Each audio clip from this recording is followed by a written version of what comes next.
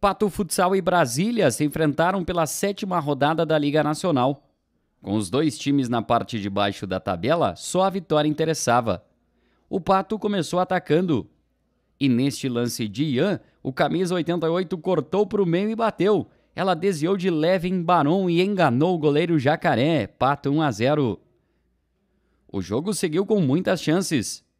O goleiro Dudu do Pato Futsal trabalhou bastante defesas importantes para segurar a vantagem.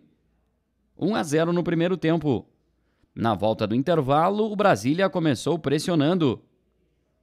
Mas nesta boa jogada de G, tabela com Sinuê e o camisa 27 avançou. Ele escapou da marcação e tocou por cima de Jacaré. Um belo gol de G, 2 a 0 Pato Futsal.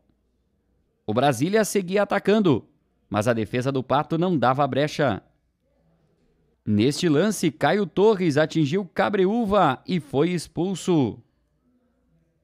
O Pato partiu para o ataque e Cabreúva serviu Gé. O camisa 9 limpou o goleiro e fez o terceiro do Pato.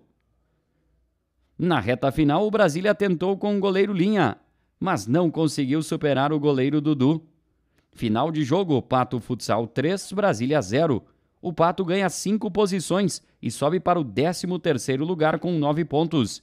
Já o Brasília segue em 22º com três.